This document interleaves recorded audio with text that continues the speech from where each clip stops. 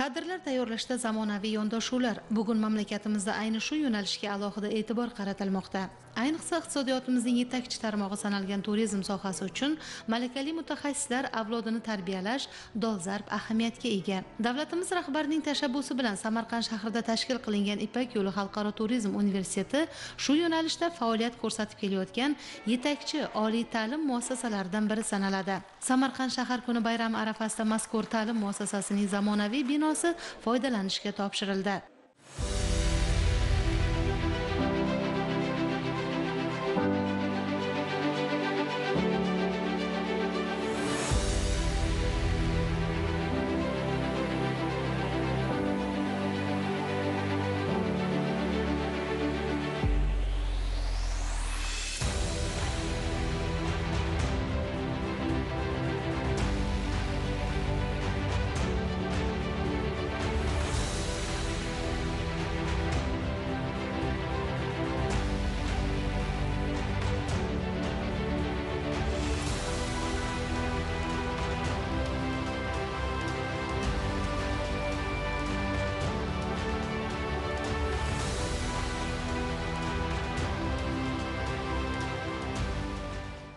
Universitetimizda hozirgi vaqtda e, o'n to'rtta ta'lim yo'nalishi bo'yicha bakalavriat va magistratura mutaxassislar bo'yicha kadrlar tayyorlanadi.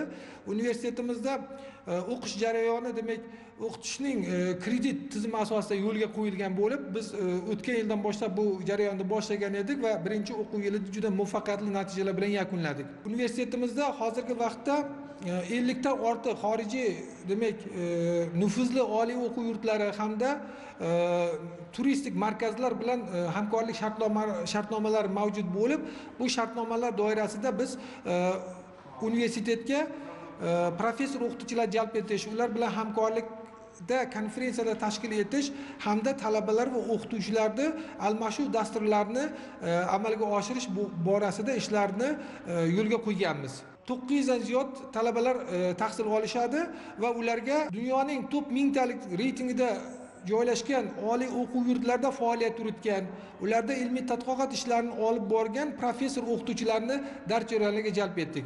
Shu shu bilan bir qatorda e, bugungi kunda xorijda faoliyat yuritayotgan e, ko'plab vatandoshlarimiz ham mana shu o'quv yilidan boshlab bizni universitetimizda demak mutaxassis hamda o'qituvchilar sifatida o'z faoliyatini boshlashdi. Avvalo shuni alohida ta'kidlash kerakki ipak yo'li xalqaro turizm universitetini tashkil etish davlatimiz rahbarining xitoyning sindao shahrida bo'lib o'tgan shanxay hamkorlik tashkiloti sammitida ilgari surilgan hamda o'zbekiston respublikasi prezidentining 2018 yil 28 iyundagi qaroriga asosan tashkil etilgan edi. Shubhasiz aytish mumkinki bugungi kunda mazkur oliy ta'lim muassasasi nafaqat respublikamizda balki mintaqamizdagi nufuzli oliy o'quv yurtlaridan biriga aylandi. Kommunikatsiya iqtisodiy va gumanitar yo'nalishlarda bakalavr va magistrlar tayyorlaydigan oliy o'quv yurtida turizm sohasida marketing turizm sohasida loyihalashtirish turizm sohasida logistika va ommaviy tadbirlarni menejmenti til va tarjima faoliyati kabi yo'nalishlarda mutaxassislar tayyorlanmoqda. 2019 yildan boshlab ipak yo'li xalqaro turizm universitetida 3 plyus 1 bakalavr ta'limining qo'shma dasturi amalga ham oshirilmoqda. Bundan tashqari universitetimizda E, xodimlar va demak e, professor o'qituvchilar bilan e, faoliyat yanada samarali bo'lishi uchun kipay tizimini yo'lga qo'yganmiz.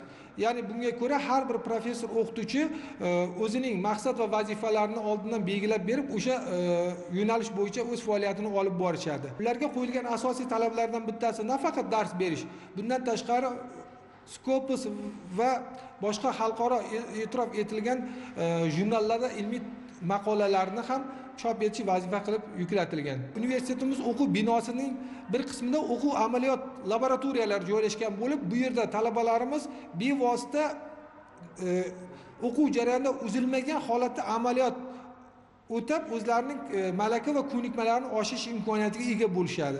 Bundan tashqari biz o'tgan o'quv yillari davomida work and travel dasturi doirasida e, talabalarimiz italiya torkorbone maktabida undan tashqari e, rossiya federatsiyasida e, germaniyada hamda e, turkiya respublikasida work and travel dasturlari doirasida amaliyotlarni o'tab kelishgan. Va bu jarayon bu bilan to'xtab qolmaydi chunki bizlar hozir e, yangi rejalarga ko'ra ispaniyada gretsiya ya'ni turizm rivojlangan boshqa e, davlatlarga ham yuborishni rejalashtiryapmiz. Mazkur o'quv dargohi aqlli kompus maqomiga ega nufuzli universitetlar standartlari asosida jihozlangan.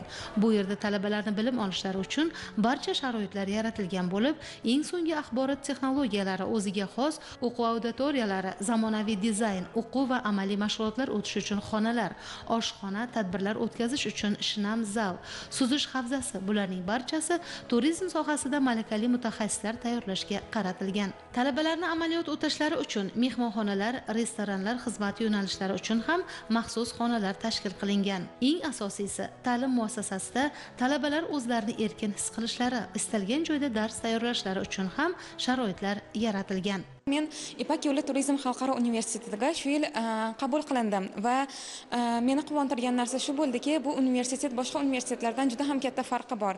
Birinchidan e, bizada juda ham katta imkoniyatlar yaratib berilmoqda. Va biz juda ham faxrlanamiz. Chunki biz faqat orzu qilardik chet ellardagi universitetlarda o'qishda yoki o'sha sharoitlarda e, biz ham ta'lim olishda va hozirda biz ham e, shunday universitetlarda bizda ham bor.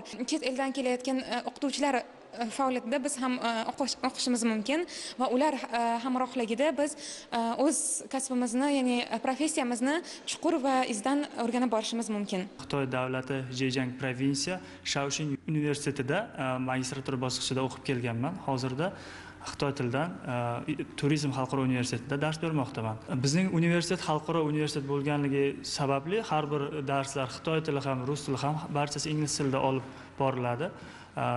Ingliz tilida xitoy tilini tushuntirish bo'lib bu talabalarga xitoy tilini o'rganish bilan ularni ingliz tilisi ham rivojlanishida ancha foyda beradi an'anaviy institut universitetlardan farqliligi ya'ni biz bir soat ya'ni ellik daqiqa bo'lgan darsni o'tib beramiz talabalarga shanba va yakshanba kunlari talabalar o'z ustida mustaqil ishlash E, ishlashi uchun ularga dam berilgan. Ya'ni bizda besh kun o'qish belgilangan va har bir dars ellik daqiqadan. Bu talabani e, juda yam ko'p informatsiya bilan band qilib ularni charchatib qo'ymaslik maqsadida bu jahon standartlariga talab beradigan darajada qilib shunaqa taqsimlangan. E, Bizni oldimizga qo'yilgan talab bu ingliz tilini mukammal so'zlashishimiz va ingliz tilida biz pedagogik bilimlarga ega bo'lishimiz talab qilinadi. Э, va mana shunday texnologiyalardan э, it texnologiyalardan foydalanishni bilishimiz kerak va buni biz o'quvchilarga tushunarli yengil tushuntirib berish uchun bizda e, ko'pchilik yetmish foiz o'qituvchilarimiz chet el amaliyotlariga ega. Albatta mazkur oliy o'quv yurti mamlakat iqtisodiyotining strategik tarmog'iga aylanayotganligini hisobga olgan holda mintaqalarning salohiyatini turizm sohasiga to'liq jalb etishni xizmatlar sohasini rivojlantirishni buyuk ipak yo'lida turizm yo'nalishining jozibador markazi sifatida respublikaning ijobiy qiyofasini shakllantirishni ta'minlaydigan yuqori malakali va jahon turizm industriyasi bozorida raqobatbardosh kadrlarni tayyorlashda asosiy omil bo'lib xizmat qiladi. Universitetda yurtimiz yoshlaridan tashqari rossiya turkmaniston tojikiston va qozog'iston kabi davlatlardan ham yigit qizlar 12 ta'lim yo'nalishi bo'yicha tahsil olmoqda. Bu yerda ularga dars beradigan professor o'qituvchilarning ham ko'pchiligi dunyoning nufuzli oliy o'quv yurtlaridan taklif qilingan. Slavomir rublevskiy I am the Dean of o'zbekiston boy turistik imkoniyatga ega. So'nggi yillarda esa ayni mana shunday imkoniyatlardan samarali foydalanish borasida qator ishlarga qo'l urilmoqda. Albatta turizm rivojlangan sari uni malakali kadrlar bilan ta'minlash ham zarur bo'ladi. Bu borada esa mana shunday oliy o'quv yurtlari katta ahamiyatga ega. Bugun oliy o'quv yurtini yangi binosini ko'rib havasim ortdi. Hech qaysi rivojlangan davlatning oliy ta'lim muassasalaridan qolishmaydi. Zamonaviy o'quv xonalari yorug' va shinam. Ayniqsa kutubxona kompyuter sinfxonalari yaxshi tashkil etilgan. Talabalarga zamonaviy sharoitlarda ta'lim olishlari uchun barcha shart sharoitlar yaratilgan. O'qituvchilarning bilim va tajribasiga ham alohida e'tibor berilgan. Ular xorij o'quv yurtlarida tajriba orttirib kelishgan. Bu esa talabalarni sifatli tayyorlashda muhim ahamiyat kasb etadi. On the daily basis. Oliy o'quv yurti binosining ochilish tadbiri ishtirokchilari bu yerda talabalar uchun yaratilgan sharoitlar bilan yaqindan tanishar ekan. Chindan ham ta'lim muassasasi dunyo standartlariga mos ravishda rivojlangan mamlakatlardan kam bo'lmagan holda jihozlanganining guvohi bo'lishdi. Ahamiyatlisi har bir o'quv xonasi zamonaviy texnologik uskunalar zarur jihozlar va kuzatuv kameralari bilan jihozlangan. Oliy o'quv yurti va o'quv auditoriyalariga kirishda har bir talaba yuz tanish indikatori orqali belgilanadi va elektron ro'yxat o'z o'zidan shakllanadi. Shuningdek bu yerda turizm ta'lim bog'lari tashkil qilingan bo'lib kunning istalgan vaqtida talabalar mazkur bog'da toza havoda kitob o'qishi internetdan foydalangan holda dars mashg'ulotlarini tayyorlashi mumkin. Universitetimiz aqlli kampus hisoblanadi. Kirganingizdan zamonaviy turniketlar o'rnatilgan ishchi xodimlarni talabalarni ro'yxatdan o'tkazish uchun zamonaviy turniketlar o'rnatilgan. Bundan keyin har bitta auditoriyamiz smart auditoriya hisoblanib auditoriyaga kirishni o'zida talabani ro'yxatga olish yuzdan ro'yxat tanib ro'yxatga olish tizimi yo'lga qo'yilgan. Bu bilan biza talabalarni darsga kelib ketishini nazorat qilishimiz mumkin. Auditoriyaga kirganingizdan keyin har bitta auditoriyamiz multimediali texnologiyalar bilan jihozlangan. Har hamma auditoriyaga kompyuter proyektor ekran e, elektron tribunalar o'rnatilgan. Elektron tribunalarga mikrofon kompyuterlar hammasi o'rnatilgan. Shu orqali o'qituvchilarimiz o'z darslarini olib boradilar. Keyin e, har bitta auditoriyaga ikkitadan kamera o'rnatilgan bo'lib u kamerani bittasi faqat o'qituvchini ma'ruzasini e, suratga oladi ovoz bilan birgalikda suratga oladi. Hamda talabalar uni e, o'tirgan uyda uylaridan turib to'g'ridan to'g'ri tomosha qilishlari mumkin. Dunyodagi ma'lum bo'lgan zamonaviy oliy ta'lim muassasalarini barchasini biza oldindan o'rganib shularda e, borib o'rganib kelish natijasida o'zimiz universitetda shu texnologiyalarni tatbiq qilganmiz. Yana zaxarova rossiyalik. U bugungi kunda mazkur oliy o'quv yurtining turizm yo'nalishida tahsil oladi. O'zbekistonda qolaversa mana shunday zamonaviy ta'lim dargohida tahsil olayotganidan va bu yerda yaratilgan zamonaviy shart sharoitlardan mamnunligini bildirar ekan shunday dedi. Я выбрала этот университет, потому men turizm sohasiga juda qiziqaman. Shu bois ham ushbu oliy o'quv yurtida tahsil olishni tanladim. Bundan esa afsuslanmayman.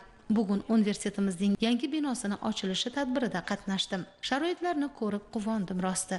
Shunday zamonaviy o'quv dargohida o'qiyotganimdan xursandman. Auditoriyalar eng so'nggi zamonaviy jihozlar bilan ta'minlangan. Amaliyot o'tash uchun ham sharoitlar yetarli. Aqlli kompus maqomidagi universitetimizda o'qish menga judayam yoqadi. Ustozlarimiz ham sohani chuqur biladigan mutaxassislar bilamizki turizm bugun jahonda eng serdaromad sohaga aylanmoqda men ham bu yerda ta'lim olib kelajakda ushbu sohani rivojiga va turizmni yuqori cho'qqiga olib chiqishga o'z hissamni qo'shaman хочу, чтобы именно туризм развивался на более высокий уровень. Bir so'z bilan aytganda ipak yo'li turizm xalqaro universiteti turizm sohasini rivojlantirish va tarmoqqa malakali kadrlar avlodini tayyorlab berish shu bilan birga turizmda milliy brendni ommalashtirishda beqiyos ahamiyatga ega.